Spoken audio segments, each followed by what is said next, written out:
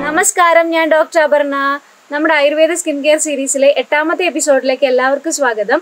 ഇന്നത്തെ എപ്പിസോഡിൽ നമ്മൾ പറയാൻ പോകുന്നത് നമ്മുടെ കൈകാലുകൾ നല്ല ആരോഗ്യത്തോടെയും തിളക്കമുള്ളതുമാക്കി വെക്കാൻ വേണ്ടിയിട്ട് നമുക്ക് വീട്ടിൽ തന്നെ നൂറ് ശതമാനവും നാച്ചുറൽ ആയിട്ട് ചെയ്യാൻ പറ്റിയിട്ടുള്ള ഒരു പെഡിക്യൂറും മാനിക്യൂറും ആണ് കൂടുതലും സൂര്യപ്രകാശം ഏൽക്കുന്ന ഭാഗങ്ങളായതുകൊണ്ട് തന്നെ നമുക്ക് പെട്ടെന്ന് ടാൻ ഉണ്ടാകാനും പെട്ടെന്ന് ഒരു കരിവാളിപ്പ് ഉണ്ടാകാനും അതുപോലെ തന്നെ കാലിലാകുമ്പോൾ കൂടുതലും മണ്ണും പൊടിയൊക്കെ പറ്റുന്ന ഭാഗമാണ്. അതുപോലെ തന്നെ കൈകളുടെ കാര്യമാണെങ്കിൽ നമ്മൾ കൂടുതൽ ഡിറ്റർജന്റുകളും സോപ്പുകളും ഒക്കെ ഉപയോഗിക്കുന്നത് കൊണ്ടും വല്ലാതെ ഡ്രൈ ആകാനും അതുപോലെ തന്നെ സ്കിൻ ഒന്ന് ചുക്കി ചുളുങ്ങാനും ഒക്കെ സാധ്യതയുള്ള ഭാഗങ്ങളാണ്. അപ്പോൾ ഇതൊന്നും ഇല്ലാതെ നല്ല ഭംഗിയോടെ ആരോഗ്യമുള്ളതായിട്ട് നമ്മുടെ കൈകാലുകൾ കാത്തു സൂക്ഷിക്കാൻ വേണ്ടിയിട്ട് നമുക്ക് എന്തൊക്കെ ചെയ്യണം നോക്കാം. കൂടുതൽ ആൾക്കാർ ഈ കാര്യത്തിൽ അത്ര ശ്രദ്ധ കൊടുക്കാറില്ലാത്തവരാണെന്ന് തോന്നുന്നു.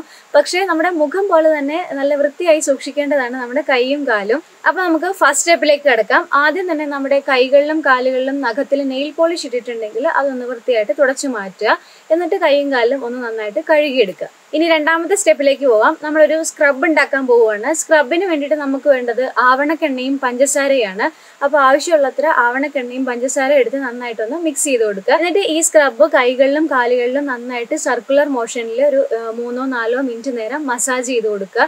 സർക്കുലർ മോഷനിൽ മസാജ് ചെയ്യണം. അകവും പുറവും ഒക്കെ മസാജ് ചെയ്യുക. അതുപോലെ വിരലിന്റെ ഇടയിലും ഒക്കെ നന്നായിട്ടൊന്ന് മസാജ് ചെയ്ത് കൊടുക്കുക. ഇങ്ങനെ ഒരു മൂന്നോ നാലോ മിനിറ്റ് സ്ക്രബ് ചെയ്ത് കൊടുത്തതിന് ശേഷം ഒരു തുണി ഉപയോഗിച്ച് ഇതൊന്ന് തുടച്ച് നീക്കിയിട്ട് നമുക്ക് മൂന്നാമത്തെ സ്റ്റെപ്പിലേക്ക് കിടക്കാം. അതിന് വേണ്ടിയിട്ട് ഒരു ബക്കറ്റിലോ അല്ലെങ്കിൽ ഒരു ബേസിനിലോ അല്ലെങ്കിൽ നമുക്ക് കാൽ ഇറക്കി വെക്കാൻ പാകത്തിന് ഒരു പാത്രം എടുത്തിട്ട് അതിലേക്ക് നമുക്ക് കാൽ മുങ്ങിയിരിക്കാൻ ആവശ്യത്തിനത്ര വെള്ളം ചൂടാക്കി എടുക്കുക.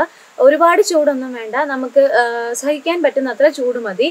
പിന്നെ കൈകളുടെ കാര്യം നമുക്ക് ഒരേ സമയം തന്നെ ചെയ്യാൻ പറ്റും. ഒരു സ്റ്റൂളിൽ ഇരുന്നിട്ട് കാൽ ഈ ബേസണിൽ ഇറക്കി വെച്ച് അങ്ങനെ ഇരിക്കുന്ന സമയത്ത് നമുക്ക് വേറൊരു സ്റ്റൂൾ ഇടുകയാണെങ്കിൽ നമുക്ക് അതിലൊരു ചെറിയ പാത്രത്തിൽ ഇതുപോലെ ചൂടുവെള്ളം വെച്ചിട്ട് ഞാൻ ഈ പറയുന്ന സാധനങ്ങളും കൂടി അതിലിട്ടിട്ട് കൈയും നമുക്ക് അതിൽ മുക്കി വെക്കാം. എങ്കിൽ നമുക്ക് ഒരേ സമയത്ത് ഇത് രണ്ടും ചെയ്ത് കഴിയാം. കാലുകളും കൈകളും മുക്കി വെക്കാൻ പാകത്തിന് രണ്ട് പാത്രത്തിൽ ചൂടുവെള്ളം എടുത്ത് വെച്ചിട്ടുണ്ട്. ഈ വെള്ളത്തിലേക്ക് ഓരോ നാരങ്ങയുടെ നീര് പിഴിഞ്ഞൊഴിക്കുക. അതിന്റെ കൂടെ ഓരോ ടീസ്പൂൺ ആവണക്കെണ്ണയും ഒഴിക്കുക. പിന്നെ രണ്ട് നുള്ളു വീതം ഉപ്പും കൂടി ചേർക്കുക.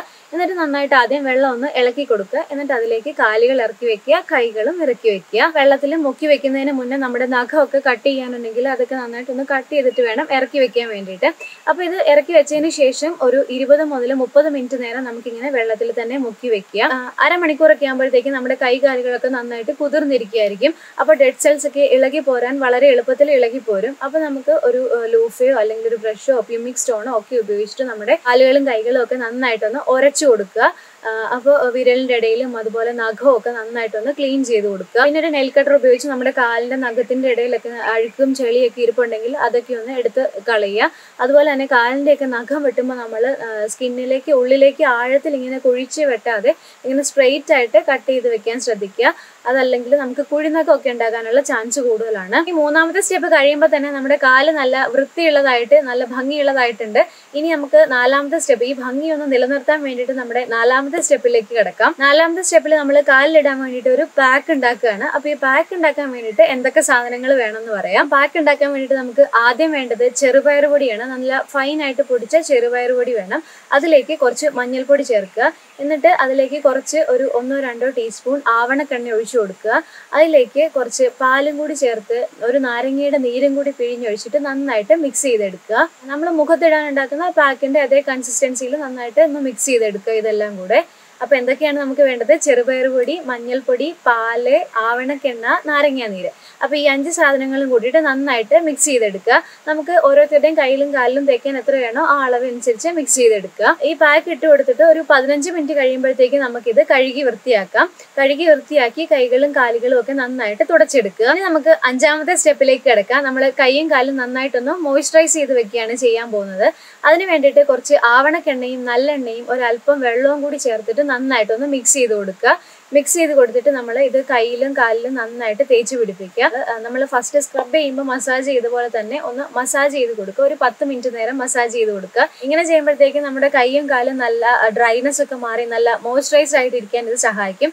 അപ്പോൾ ഉള്ളൂ നമ്മുടെ പെഡിക്യൂറും മാനിക്യൂറും നമുക്ക് വീട്ടിൽ കിട്ടുന്ന സാധനങ്ങൾ കൊണ്ട് തന്നെ നമുക്ക് ചെയ്യാൻ പറ്റിയതാണ്.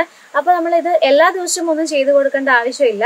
ആഴ്ചയിൽ ഒരു പ്രാവശ്യമെങ്കിലും ചെയ്തു കൊടുക്കുകയാണെങ്കിൽ അത്രയും നല്ലത്. ഇനി അതും പറ്റിയില്ലെങ്കിൽ ഒരു മാസത്തിൽ രണ്ട് പ്രാവശ്യമെങ്കിലും ഇത് നമുക്ക് ചെയ്തു കൊടുക്കുകയാണെങ്കിൽ നമ്മുടെ കൈകൾക്കും കാലുകൾക്കും ഒക്കെ നല്ലൊരു വ്യത്യാസം നമുക്ക് ഫീൽ ചെയ്യും. അപ്പോൾ നമ്മൾ ഈ പെഡിക്യൂറും മാനിക്യൂറും ചെയ്യുമ്പോൾ കുറച്ചധികം സമയം നമുക്ക് വേണം. അപ്പോൾ നമ്മൾ ഫ്രീ ആയിട്ടിരിക്കുന്ന ഏതെങ്കിലും ഒരു ദിവസമാണ് നമ്മൾ ഇത് ചെയ്തു കൊടുക്കേണ്ടത്. അതുകൂടാതെ ഒരുപാട് പേര് പറയാറുണ്ട് കൈകളും കാലുകളും ഒക്കെ വല്ലാതെ ചുക്കി ചുളിഞ്ഞു വല്ലാതെ ഡ്രൈ ആകുകയാണ് എന്നൊക്കെ പറയാറുണ്ട്. അപ്പോൾ ഇതിന് വേണ്ടിയിട്ടൊക്കെ എല്ലാ ദിവസവും നമുക്ക് ഈ പ്രൊസീജിയർ ഫുള്ള് കംപ്ലീറ്റ് ചെയ്ത് കൊടുക്കാൻ പറ്റുന്നതല്ല.